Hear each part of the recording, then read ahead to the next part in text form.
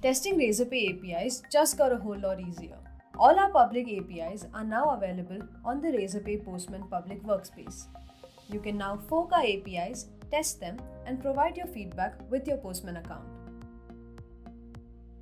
In this video, we will talk about how to access the workspace and what actions you can perform on the workspace. You can access the workspace from our Docs API pages.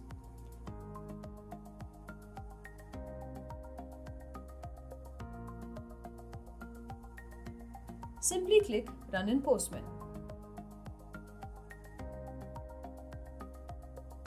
Or you can directly enter the workspace URL in your web browser. It is that easy.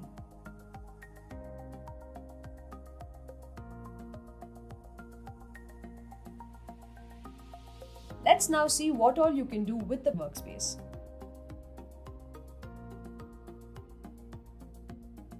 Do not have a Postman account?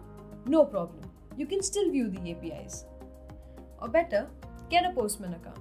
It is free. Fork APIs and test them. Before we begin, remember to create a fork from a collection in a public workspace, you must make your profile public. Now let's get started. To fork the APIs, open the workspace, search for Razorpay APIs and select the collection.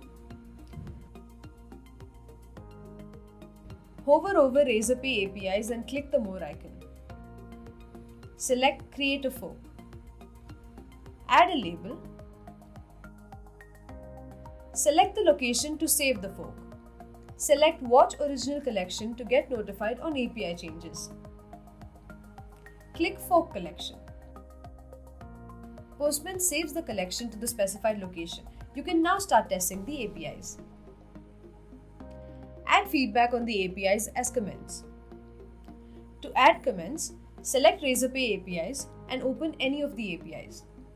Click the comment icon, enter your feedback and click Add Comment. The Razorpay team will check your feedback and take appropriate actions. Get regular updates about APIs. To watch our workspace, click the watch icon.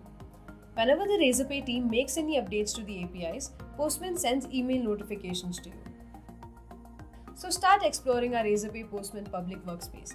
We would love to hear what you think about it in your comments. In case of any queries, reach out to our Razorpay support team. Thank you.